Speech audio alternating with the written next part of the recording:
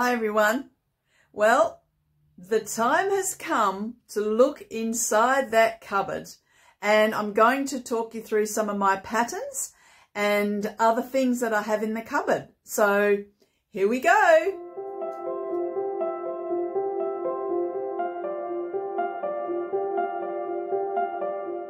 So today I'm going to take you into the cupboard that has all of the, um, all my patterns. So, right, let's have a look. So as I've said before, this is actually a wardrobe. So I've got a lot of patterns up here, which I'm going to go through bit by bit, if you're interested. And I've got some um, document holders there that are holding that. Then here's you see, that's just coat hangers. Then I've got all my bags. My patterns, some patterns I keep hanging up. Does anyone else do that? So then you don't have to iron them. Sorry, rustling. So then you don't have to always iron them and have them ready for when you're cutting out. So um, I've got some self-drafted ones. That's one I took from an existing top. Um, then this is one from 2018 that I made from a block. So it's when I did my course at TAFE. Um, oh, that's not from when I did it. I did the course in 2013 and then I've keep doing that, repeating that. So I've got my block for my skirt and I've got my block for my um, Sure Fit Designs sloper, they call it. They call it something different than what we call it here in Australia. So that's the top for the sloper for Sure Fit Designs and that's my Sew Over It um, Ultimate Shift Dress. I use that a lot, so I've cut it into a lot, uh, a really thick um, paper. And I've just, I'm just using these coat hangers you get from the shop when I buy um, clothing. Well, I've, I had these from collecting them from years, but even um, I just keep them and you can just pin them to them, you see. And I've even got some little messages on some of them. You know me, I like my little messages, my little messages to myself, my signage. And then that's from the, um, the charm pattern, um, that one there. So yeah, I've got quite a few of those. Uh, and I do refer to those a lot and use them a lot. A few more. Okay, this section here, um, picking up from there, I've got um, some other hanging things here. That's all things knitting at this end or in a little bit of that plastic fabric. Don't even know what it's called. Poly, poly, don't know. But it's another bag waiting to happen there, like this pink one. I'm going to make a green one one day. So that's on my list of things to do. This is um, knitting. Uh, this is hats and bag patterns. And then that is knitting and crocheting patterns, which I'll go through at some point. Then down here, I've got uh, my big four patterns and so, some of them. So I've got adult ones, children ones. Some of them I bought brand new. Some of them I bought from Oppos, from Op Shops. Then I've got some more modern indie indie patterns in this section here. So I've got Sew Over It and Megan. I've got a few of her patterns. And then these are some other ones that end up quite big. So I've got them sideways. And then down here I've got the um, equipment I use for making necklaces and jewellery making. I used to be right into that and I don't really do that much anymore. So um, I just keep it in case I want to um, repair something. Here I've got craft glue. I keep it in that little thing. And all things glue. And then here I've got this cute little box. Don't you love boxes? How cute is this box? It's just cardboard. And then I've got some, uh, we used to call it fancy work some hand stitching and all the threads there. I've got a couple of batches of this. Uh, my hands play up a little bit these days. I don't always do that, but I used to do that a lot. Uh, all the threads for the hand stitching and the fancy work and needlecraft. So sometimes I do that on garments these days because it's just a little bit. The tub here has fabrics that I keep to make toiles or practice garments. So that's like an old sheet and any other old sheets and offcuts and large pieces of fabric are sitting in there just for making toiles. So I don't often make a toile. I usually use um, fabric. So I don't often I don't often make a toile um, and use toile fabric. Mostly I use some uh, fabric from the shop or that I've got from an op shop, actual fabric. And then if it turns out, then I'll wear it. So it turns into a wearable toile. So I like to do it that way because I just feel like a lot of effort goes into the practicing of the garment. So it helps me to um, finish things. And yeah, I've just got a little system and I, I do seem to work better when I, um, I'm working on actual fabric except for the times when I make things like that orange dress that was made out of an orange um, sheet. It turned out amazing and um, I wear that a lot, um, as you've probably seen in some of my videos. So that was a sheet out of my pile in the cupboard. Now back to the cupboard. So in this corner here, I've got just some storage things. This is full of knitting needles. I don't use this style knitting needles anymore. They're the stick ones. Um, I don't. Um, and then I've got into all different interfacings here. Now, they're at the ready. I've got another box with interfacings as well. This is all bag making, buckram and special stuff for bag making. This is for bag making as well. I've got a fair bit there. Adam from Adam Sews, you'll recognise that kind of stuff for making bags. And then I've got some really stiff buckram back here. Um, I've got like a full metre of it there. So I can, um, yeah, I can make any bags anytime that I feel like it. So that's that. This, how pretty is this beautiful little handbag? Um, I've had at an Oppo and I just had to get it because it was so pretty. I have used it. I've gone out. It's um, it's just all hand embroidered and it's got a little bit of bling on the top. It's just so beautiful. Um, and uh, inside you can wear it um, across the body with that strap or and just carry it um, with that handle. So it's very nice going out of an evening.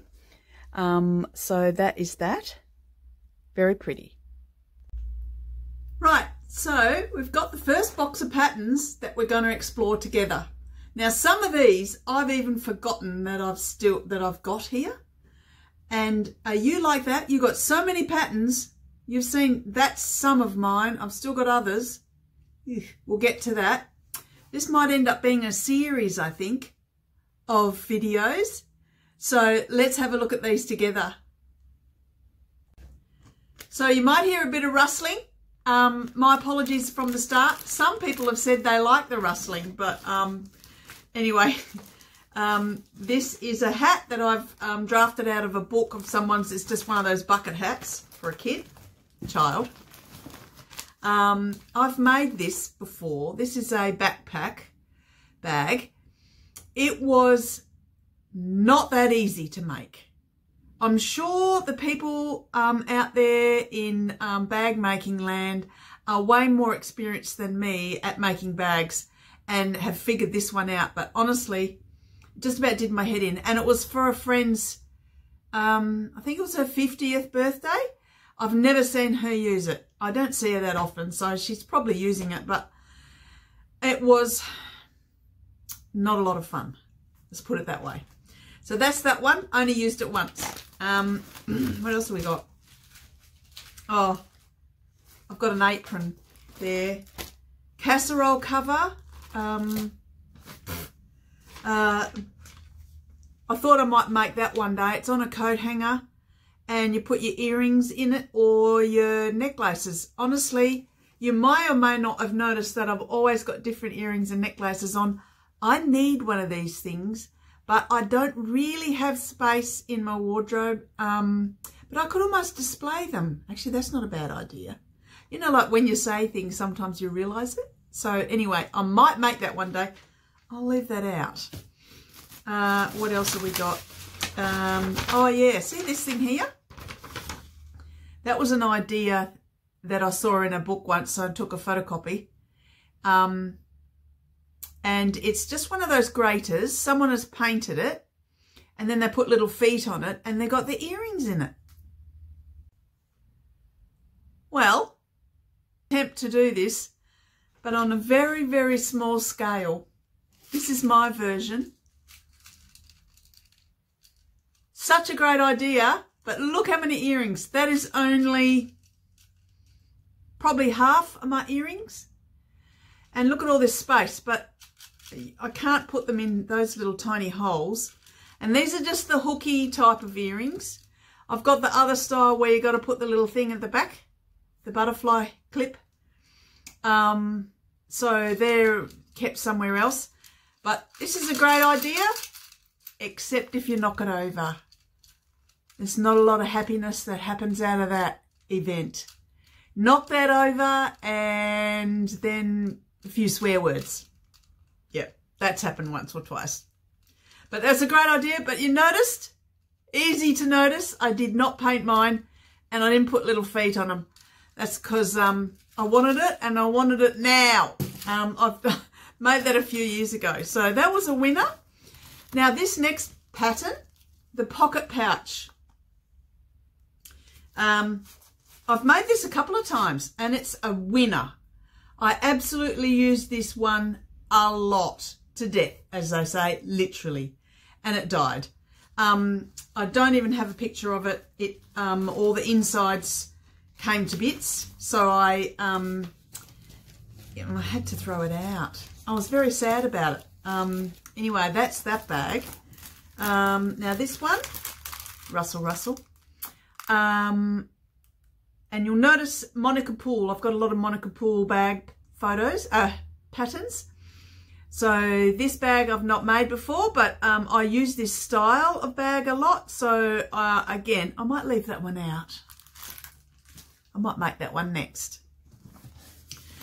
This could be a treacherous thing to do because I'm going to be reminded of my patterns and then I'm going to want to make stuff. Sorry. Then I'm going to want to make stuff. This one, don't even know where it came from, but it's in an envelope. So someone's given me a copy of this. Um, it's a uh, just a shopping type bag. So that's actually a really good bag. Designed to fit large 20 inch blocks. Oh, that's for quilters. I'm not on the other side yet. Not going to the dark side. I've, some people would say that making bags is the dark side. Anyway, we'll see. Uh, now, this one here, this bag pattern, the spice of life, has been the spice of my life. I've shown you this um, pattern before, and I think I've showed you a couple of these bags. And it's the Moonshine bag, and I'm going to show you a couple of these now. Um, I've made this a lot. I've used this pattern so much that inside this bag, which the pattern lives in, I've got spare this and leftover that and all these sections made that um, I might want to use when I make the next bag. So little pockets already made, various things. So I've got the small size and the larger size and um, just one moment, please. Check them out. so I'm going to start with the very first one I ever made. Um, and I love it. It's a gorgeous bag and it's it's got one of those, I know there's a name for it, pop open bag sections. It's lovely. And so it is following the pattern exactly as it um, suggests. The only thing, I didn't put any feet on the bottom. And it's got pockets. And it's all with recycled fabric. I love this bag. I might leave it out and start using it. Um, so that's that bag. Aren't they pretty ladies? I've got those, um, you saw that fabric when I went through my fabric stash. Um, so that's those. That's that one. Next. Then I made this bag. You've seen this one. That's made out of a jumper. And I, it's a classic type of 80s jumper. How cool is it? Looks like it's a knitted bag. No feet yet. And the inside, and I put some special jazzy stitches from my machine at the time. That's a nice bag too. Uh, then I've got this one here, which is from that pattern as well, but it doesn't have, it's got a different top on it. Um, this one, it's got a bit of decoration on it. So it's got different button, little pussycat.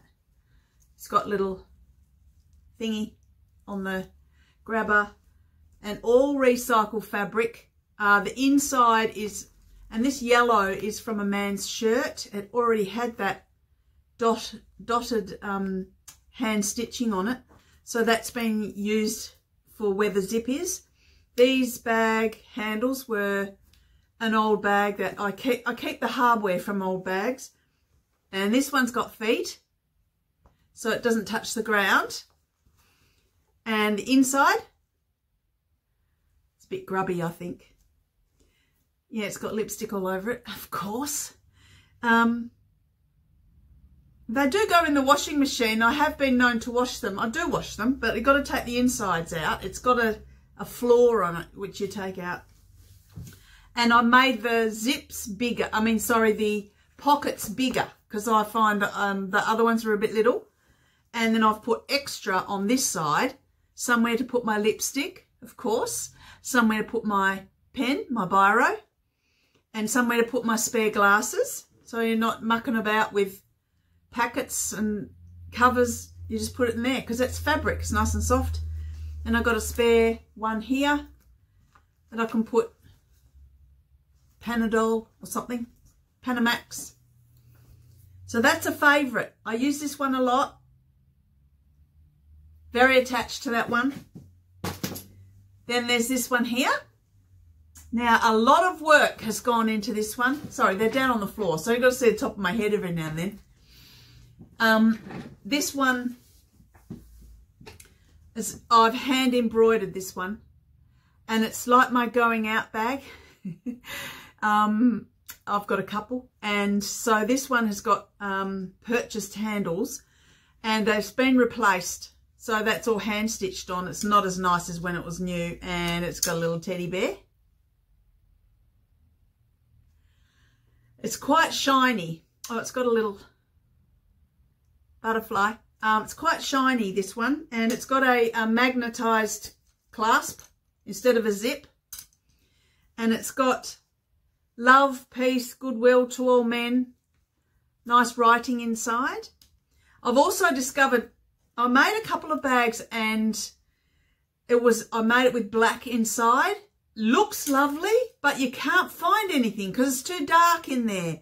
So I just find that calico with a bit of a jazz, jazzed up pocket is the best way now. I've discovered that. Or a lighter colour. So I'll just get the next one, which is the last one in the series. So this one, I think you've seen this one too. It is because this is uh, made out of that plastic fabric and you have seen this because I remember now I showed you. And this has got really cool inside fabric. So this is another favorite uh, and very much a summer bag in my mind even though it's suitable for winter. And you saw that I've got some green in that cupboard you said you saw that I've got some green of this stuff. So that's begging, absolutely begging to be made. Now the last one I have using this pattern is the big one, which you might have got a glimpse of earlier.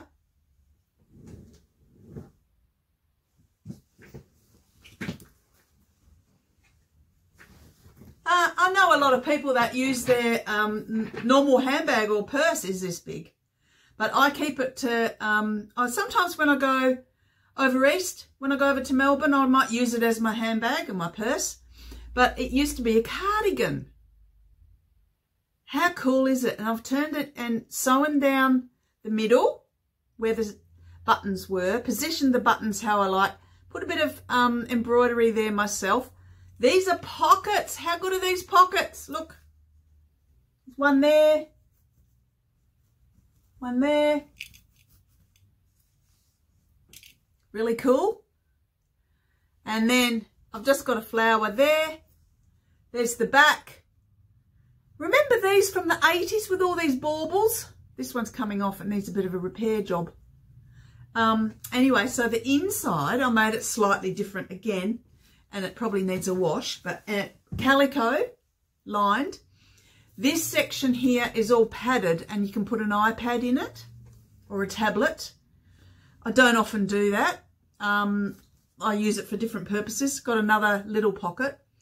Um, and then I've got a third pocket in the middle section in this bit here. There's a pocket on the inside. That's handy as well. So it's really good for the knitting projects. This is my next knitting project. Um, and then you just carry the bag. Um, it's, it's a favourite.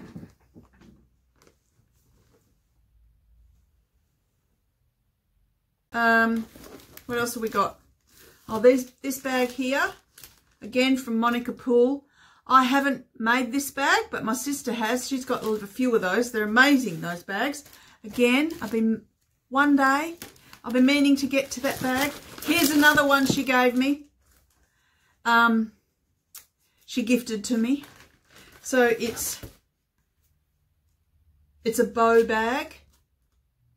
It's a really nice bag. She takes that away with her a lot and she has projects in it and various things. So again, one day I should make that. What am I doing? Making these videos when I can be sewing. um, then I've got another one of Monica Poole's. This one's the Moonshine. Again, I haven't made this one. I've got a lot of bags to be made, haven't I? I did get on a real roll about a decade ago of making all these bags and um, and then uh, I got I got enticed by making clothing and that's where it all began. No, I was already sewing but um, I got more into that. So this is a hat pattern from McCall's bucket hat. Um, again, that's this pattern's from my sister and I've just drafted off what size M for my grandson but I don't know that it fits him so I need to I've got a pattern number written down that I'm going to purchase to make him a bucket hat. Uh, we've nearly finished. Now we've got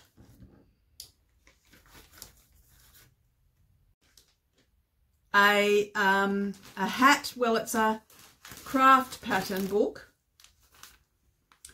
And it's got apron hat and bag for the garden um, and I've made only the hat out of that, the actual bucket hat. And I've got an orange one that's very faded for summer. And I wear that if I go to the pool and it doesn't matter if I get chlorine on it.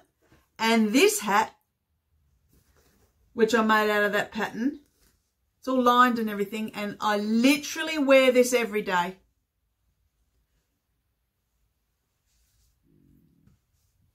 I literally wear this when I go walking. Um, it's not the, the most beautiful hat on my head, I don't think. I think it could be better. Um, but, but you know, maybe I could wear it differently. Uh, I could wear it with a bit of pizzazz. So, one more bag pattern, and it's again Monica Poole. This one's the Piccadilly. Uh, I haven't made that purse, but I've only made the bag before. Um, I don't recall when, oh, at least three, might be five years ago. Um, and it's I'm currently using this bag. So here it is. Now I've used faux leather on this. I um, uh, The fabric was from an op shop and uh, I've put binding all the way around. What it's called? No. Um, and I've got feet on it. And you see it's got the faux leather at the bottom.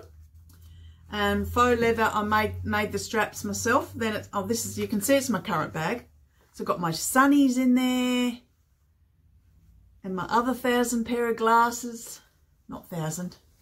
It's got um, a bit more of the love, peace and goodwill to all men. Another pocket. Um, and other little sections in there. And I, I just like to have...